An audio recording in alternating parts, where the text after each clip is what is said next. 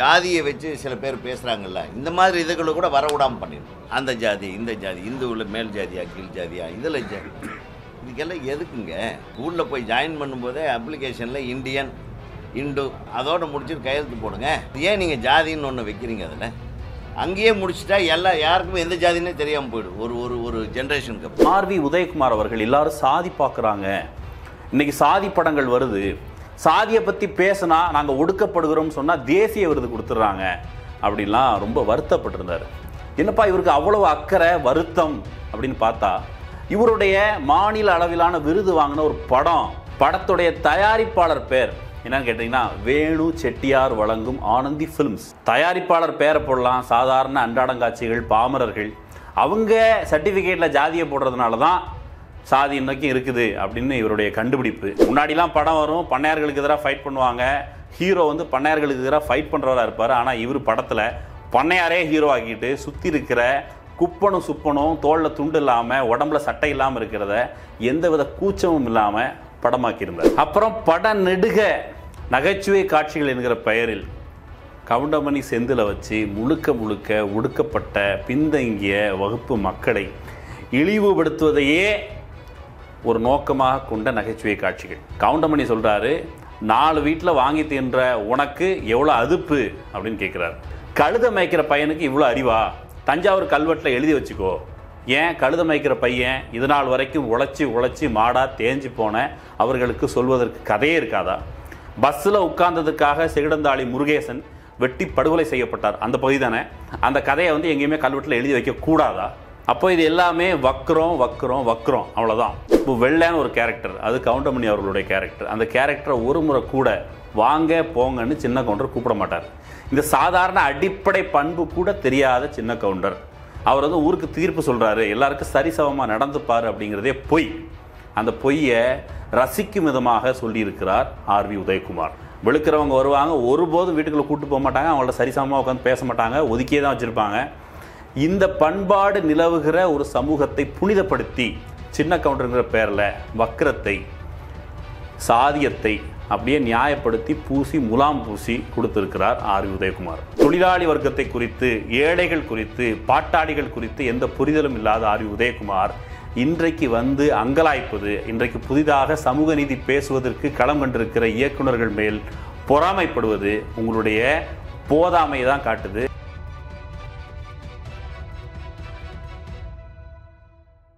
அரண்சை நண்பர்களுக்கு வணக்கம்.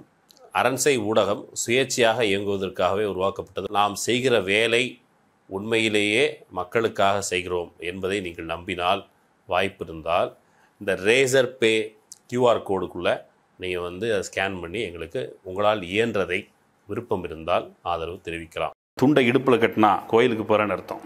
துண்டை தோளில் போட்டதா? தீர்ப்பு சொல்ல போகிறேன்னு அர்த்தம். இந்த துண்டை அப்படி எடுத்து வச்சனா பட்டையை கிளப்பு போகிறேன்னு அர்த்தம்.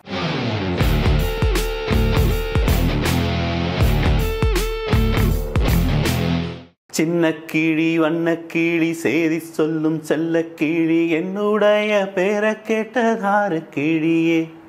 சின்ன கீழி வண்ண கீழி சேதி சொல்லும் செல்ல கீழி என்னுடைய பேரை கேட்டதார் கிழியே. யாரு யாரு அது யாரு? அவ பேரு என்ன அத கூறு. இந்த பாட்டு எஸ்பி பாலசுப்ரமணியன் அவர்கள் பாடியது அவருடைய திறமை போல நமக்கு வராது அந்த அளவுக்கு நான் வந்து சும்மா அட்டன் பண்ண தான் செஞ்சேன். ஆனால் அந்த பாட்டு ஏன் இப்போ அப்படின்னு கேட்டிங்கன்னா ஒரு முக்கியமான ஒரு விழாவில் ஒரு திரைப்பட விழாவில் இப்போ ஜாதியை பற்றி ஜாஸ்தி யாரும் பேசுறது இல்லை. இப்போ சினிமாவில் தான் ஜாஸ்தி ஜாதியை பற்றி எடுக்க ஆரம்பிச்சிட்டாங்க. ஆர்வி உதயகுமார் அவர்கள் எல்லாரும் சாதி பார்க்குறாங்க இன்னைக்கு சாதி படங்கள் வருது. சாதியை பற்றி பேசினா நாங்கள் ஒடுக்கப்படுகிறோம்னு சொன்னால் தேசிய விருது கொடுத்துட்றாங்க. அப்படின்லாம் ரொம்ப வருத்தப்பட்டிருந்தார். என்னப்பா இவருக்கு அவ்வளவு அக்கறை வருத்தம் அப்படின்னு பார்த்தா இவருடைய மாநில அளவிலான விருது வாங்கின ஒரு படம் அந்த படத்தில் உள்ள பாட்டு அதுதான் நான் பாடி காமிச்சேன். அந்த படம் நமக்கு தெரியும் சின்ன கவுண்டர். அவருடைய பல படங்களில் அவர் என்ன எடுத்திருக்காருன்னு பார்க்கறதுக்கு ஒரு சாம்பிளாக ஒரு பானை சொற்றுக்கு ஒரு சோறு பதம் போல் இந்த படத்தை நான் பரிசீலனைக்கு எடுத்துக்கிட்டேன். இந்த பாட்டே பாருங்களேன் சின்ன கிளி வண்ணக்கிளி என் பேரை யார் கேட்குறா? அப்படிலாம் இவர் கேட்குறாரு. ஒருவேளை அந்த பொண்ணு பேர் கேட்டுடுச்சுன்னு வச்சுப்போம். என்ன பேர் சொல்லியிருப்பாரு? படத்தில் எங்கேயும் இவரோட பேரே கண்டுபிடிக்க முடியாது. ஏதோ ஒரு இடத்துல எப்பா தவசி அப்படின்னு மனோரமா ஆச்சு கூப்பிடும். அதர்வைஸ் எங்கேயும் பேரே இருக்காது. வில்லன்ட்ட சண்டை போடும்போது நான் யார் தெரியுமில சின்ன கவுண்டரு அப்படின்னு சொல்லுவார். அந்த அளவுக்கு சாதி எதிர்ப்பை தன்னுடைய படங்களில் முழுக்க விரவி விட்டுருக்கிற அவருடைய சின்ன கவுண்டர் குறித்து இன்னைக்கு பார்த்துடலாம் அப்படிங்கிறதுக்காக தான் இன்றைக்கி நம்ம சந்திக்கிறோம். படம் தொடங்குதுங்க.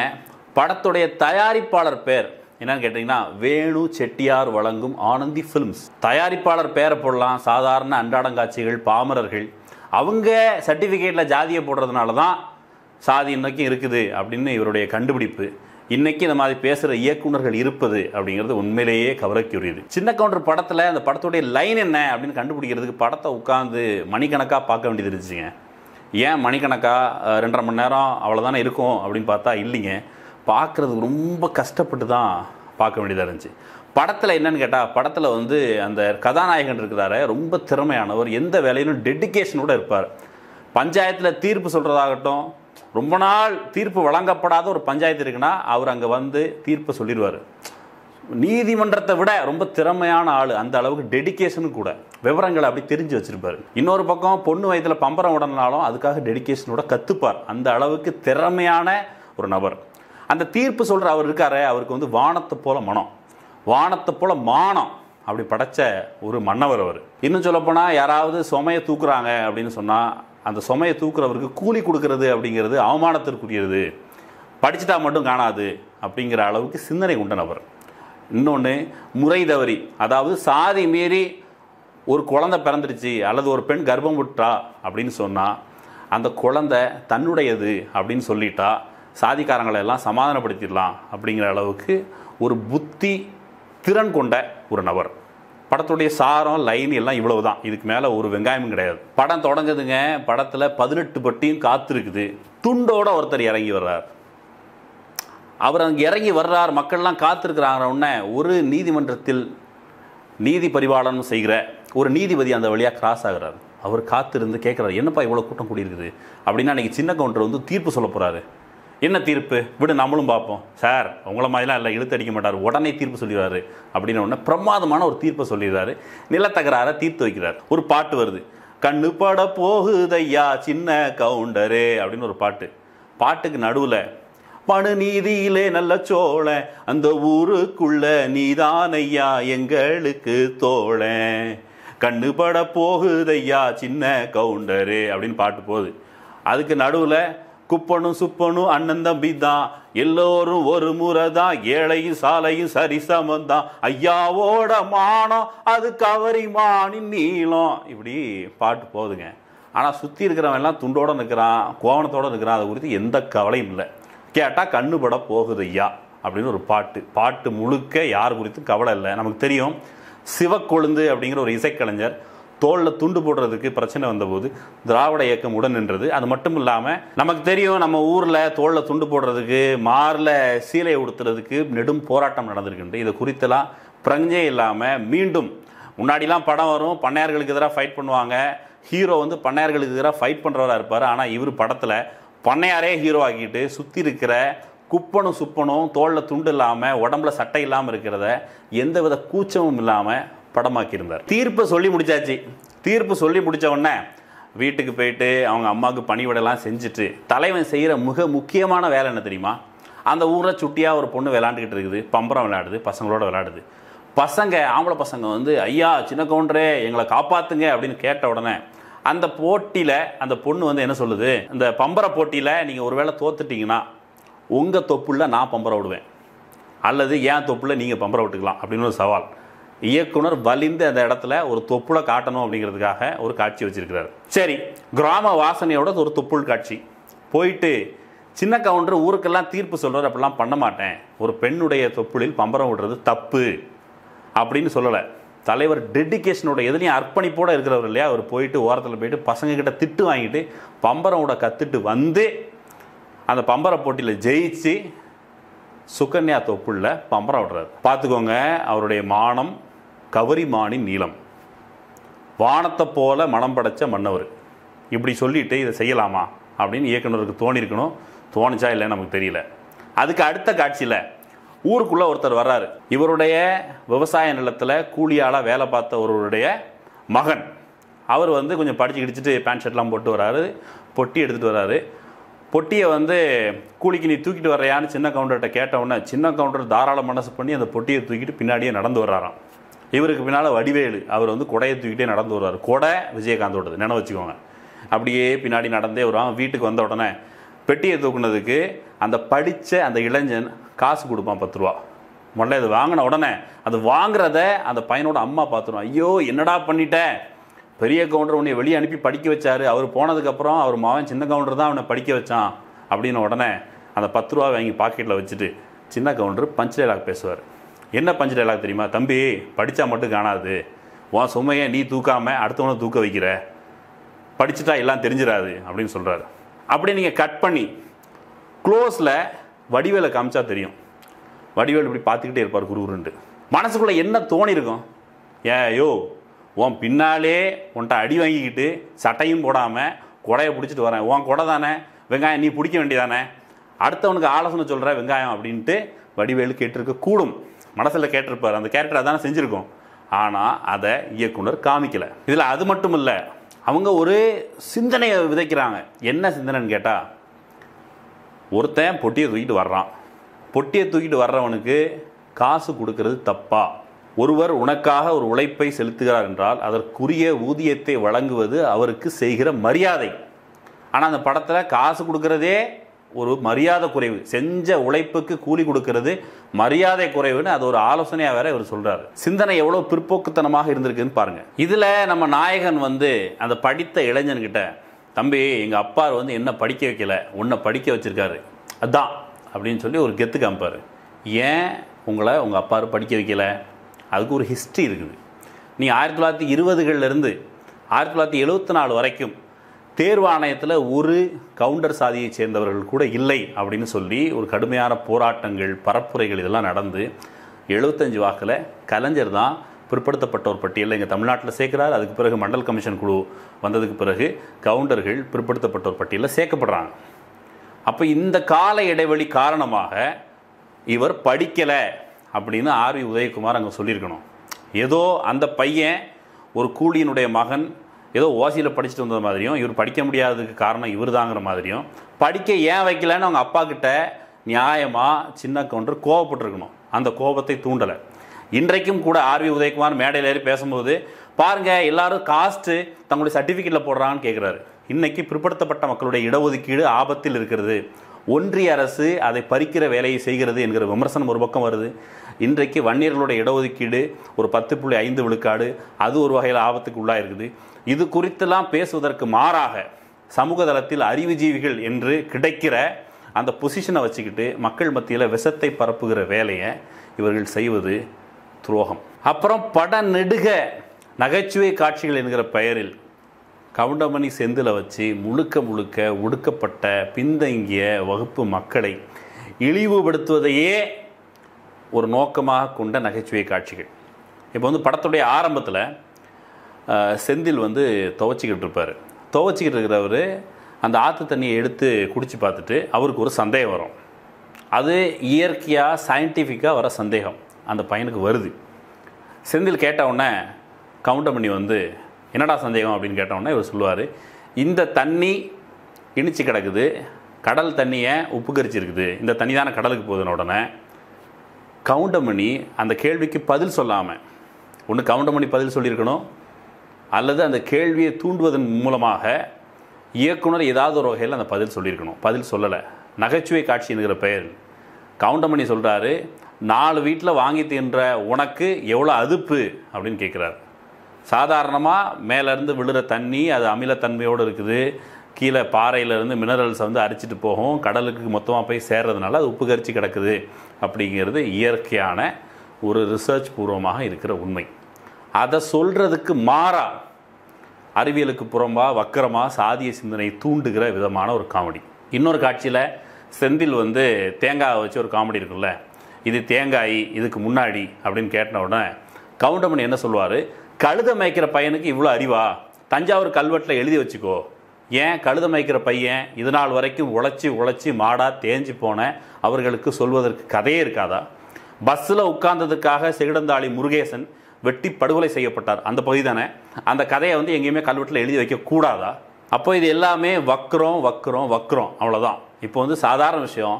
இந்த படத்தில் எல்லாருமே தோழன் எல்லாருமே சரிசமம் குப்பனும் சுப்பனும் சரிசமம் அப்படிலாம் பாட்டு வச்சுட்டு அதே படத்தில் இப்போ வெள்ளைன்னு ஒரு கேரக்டர் அது கவுண்டமணி அவர்களுடைய கேரக்டர் அந்த கேரக்டரை ஒரு முறை கூட வாங்க போங்கன்னு சின்ன கவுண்டர் கூப்பிட மாட்டார். இந்த சாதாரண அடிப்படை பண்பு கூட தெரியாத சின்ன கவுண்டர். அவர் வந்து ஊருக்கு தீர்ப்பு சொல்கிறாரு எல்லாருக்கும் சரிசமமாக நடந்துப்பார் அப்படிங்கிறதே பொய். அந்த பொய்யை ரசிக்கும் விதமாக சொல்லியிருக்கிறார் ஆர்வி உதயகுமார். வெளுக்கிறவங்க வருவாங்க ஒருபோதும் வீட்டுக்குள்ளே கூட்டு போக மாட்டாங்க அவங்கள்ட்ட சரிசமமாக உட்காந்து பேச மாட்டாங்க ஒதுக்கியே தான் வச்சுருப்பாங்க. இந்த பண்பாடு நிலவுகிற ஒரு சமூகத்தை புனிதப்படுத்தி சின்ன கவுண்டருங்கிற பேரில் வக்கிரத்தை சாதியத்தை அப்படியே நியாயப்படுத்தி பூசி முலாம் பூசி கொடுத்துருக்கிறார் ஆர் உதயகுமார். அடுத்து சுகன்யா நடிச்சிருந்த தெய்வானைங்கிற கதாபாத்திரம். அந்த பெண் உழைத்து சம்பாதிக்கிற அந்த பெண். அந்த பெண்ணுக்கு உண்மையிலே சுயமரியாதை இருந்திருக்கும். சின்ன கவுண்டரை கண்டித்திருப்பார் அப்படின்னு நம்ம காத்திருந்தா சின்ன கவுண்டர்கிட்ட சிபாரிசுக்கு போவாங்க. தன்னுடைய தங்கை வெளியே போய் படிச்சுட்டு வந்த உடனே சின்ன கவுண்டர்கிட்ட போய் இவங்க வந்து சிபாரிசு கடிதம் கேட்க போவாங்க. என் தங்கச்சி சேர்த்து விடுங்கன்ட்டு. என்னுடைய தொப்புளில் பம்பரம் விட்ட சின்ன கவுண்டர்கிட்ட நம்பி தங்கைக்கு வேலை கேட்க போகலாமா அப்படிங்கிற சின்ன சிந்தனை கூட சுகன்யா அவர்களுக்கு அல்லது தெய்வானை அவர்களுக்கு வரல. அடுத்து கடன் வாங்கி வச்சுருப்பாங்க. ஒரு இடத்துல வந்து வில்லனுடைய கோஷ்டியை சார்ந்த ஒருத்தவங்க வந்து சுகன்யாவை சீண்ட சுகன்யா வந்து அடித்த உடனே அந்த வில்லன் கோஷ்டி வந்து நீ ஒன்று என் கூட வா அல்லது கடனை அட அப்படின்னு சொல்லி கேட்ட உடனே அந்த சுகன்யா அந்த தெய்வானைக்கு ரோசம் வந்துடும் கோபம் வரும் சுயமரியாதை உணர்வு வரும். அந்த சுயமரியாதை உணர்வோடு எப்படி பிச்சை எடுத்தாலும் பரவாயில்ல அவன் கடன் அடைச்சிடுறேன். உன்னுடைய ஆசைக்கு இணங்க முடியாதுன்னு சொல்லி ஊர் மொய் வைப்பாங்க. சுயமரியாதை தான். அந்த சுயமரியாதையின் பார்பட்டு ஊர் மொய் வச்சு எல்லார் மக்களும் சாப்பாடு போட்டு ஊரில் இருக்கிற மக்கள் எல்லாம் அந்த மொய் விருந்துக்கு வந்து சாப்பிட்டுட்டு இலை கீழே தங்களால் இயன்றதை கொடுத்துட்டு போவாங்க. ஆனால் விஜயகாந்த் அவர்கள் பணத்தை கொடுக்கறதுக்கு மாறா அந்த பெண்ணுடைய கடனை அடைக்கிறதுக்கு உதவி செய்கிறதுக்கு மாறா அதற்கு வழி இருந்தும் கூட அவர் என்ன பண்ணுவார்னா தாலியை வச்சுட்டு போவார்.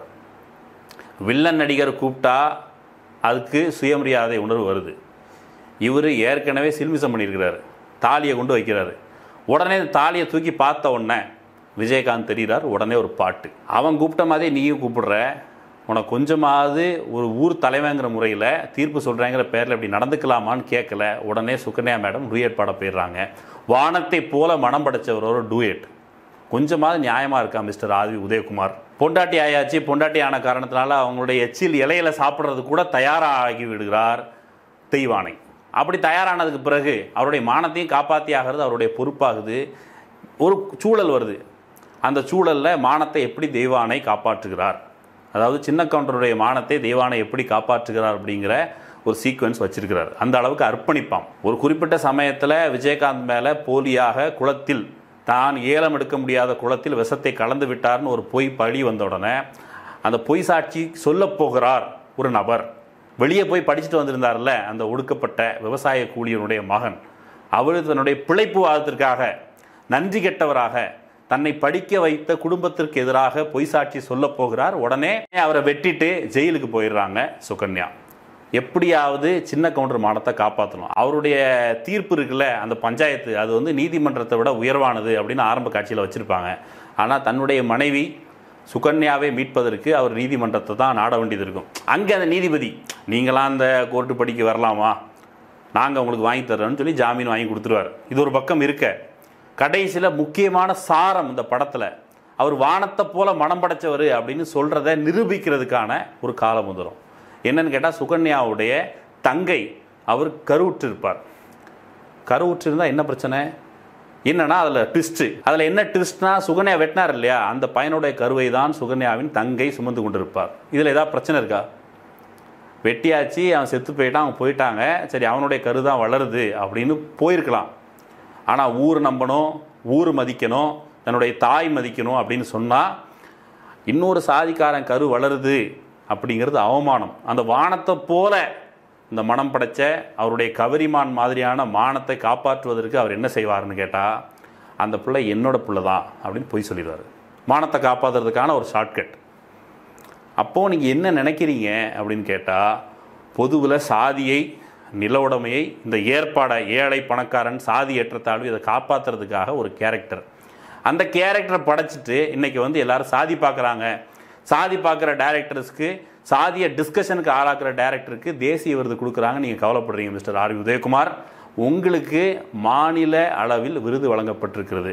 அந்த விருது தான் இன்றைக்கு வளர்ந்திருக்கிற ஒரு கண்ணோட்டத்தின் அடிப்படையில் அந்த விருது வாபஸ் வாங்கப்படும் நியாயமாக ஒருவேளை ஆர்வி உதயகுமாருக்கு கதாபாத்திரம் கிடைக்கலைங்க. அன்னைக்கு இருந்ததை வச்சு தான் நான் மேனேஜ் பண்ணேன்னு சொன்னார்னா அது பொய். அவர் சொன்ன அந்த சமகாலத்தில் அதே பகுதியில் எண்ணற்ற ஒடுக்கப்பட்ட மக்களுக்காக விவசாய குடிகளுக்காக கம்யூனிஸ்டுகள் எவ்வளோ பேர் வேலை பார்த்துட்டு இருந்தாங்க. அதில் ஒரு தோழர் இடுவாய் ரத்னசாமி அவர் வந்து அந்த பகுதியில் இருக்கிற ஒடுக்கப்பட்ட விவசாய கூலிகளின் நலன்களுக்காக உழைத்தவர்.